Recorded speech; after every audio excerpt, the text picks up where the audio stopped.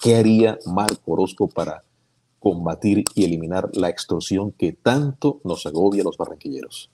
Sí, lo que pasa es que la inseguridad es un problema de muchas áreas. Primero, están las oportunidades económicas y educativas que tengan las personas para poder tener una, una, eh, una posibilidad de entrar al mundo laboral sin que se le presenten otras propuestas que lo saquen de camino. Eso me parece importante mencionarlo desde el principio.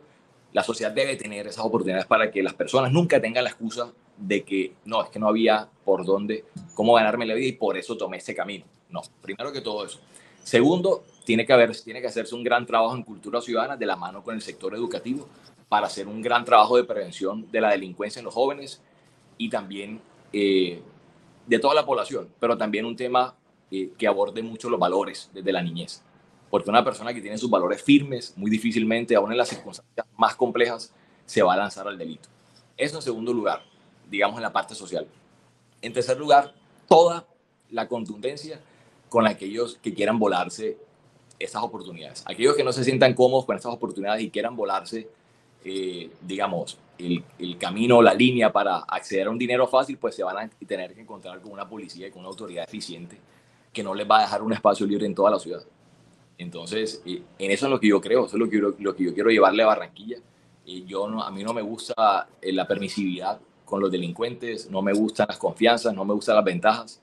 Así que conmigo, pues, eh, por lo menos no van a tener esa ventaja que tienen hoy. Para mí eso tiene que ser un trabajo asfixiante eh, contra ellos y que una vez que estén capturados empiecen, a, empiecen un proceso de rehabilitación. Yo creo en que las personas aún, las peores, tienen la, tienen la, la necesidad de que la sociedad los rehabilite.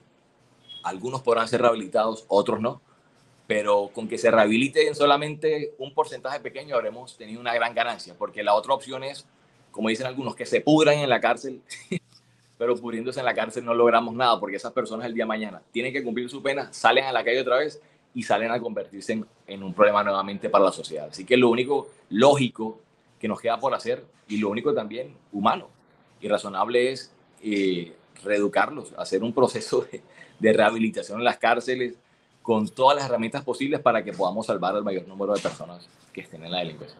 Marco Orozco es más cercano a la ideología de Nayib Bukele, presidente de El Salvador, con su megacárcel y que se pudren en la cárcel, o más cercano a las ideas de Gustavo Petro, que dice hay que disminuir la brecha social, eh, más universidades, menos cárceles.